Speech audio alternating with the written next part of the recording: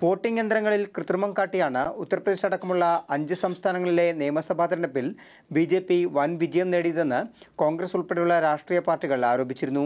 യന്ത്രത്തിൽ കൃത്രിമം നടക്കുമെന്ന് പ്രതിപക്ഷ പാർട്ടികൾ പ്രചാരണം ശക്തമാക്കിയതോടെ ഇ വി എം ചലഞ്ചുമായി മുഖ്യ തെരഞ്ഞെടുപ്പ് കമ്മീഷൻ രംഗത്തെത്തി. ഇ വി എമ്മിൽ കൃത്രിമം തെളിയിക്കാൻ ജൂൺ മൂന്ന് മുതൽ രാഷ്ട്രീയ പാർട്ടികൾക്ക് അവസരം നൽകും. താൽപ്പര്യമുള്ളവർക്ക് മൂന്ന് പ്രതിനിധികളെ വീതം പങ്കെടുപ്പിക്കാം. മെയ് ഇരുപത്തി പേര് രജിസ്റ്റർ ചെയ്യണം.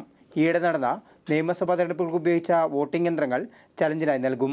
ഓരോ രാഷ്ട്രീയ പാർട്ടിക്കും അഞ്ച് വോട്ടിംഗ് യന്ത്രങ്ങളിൽ പരീക്ഷണം നടത്താം.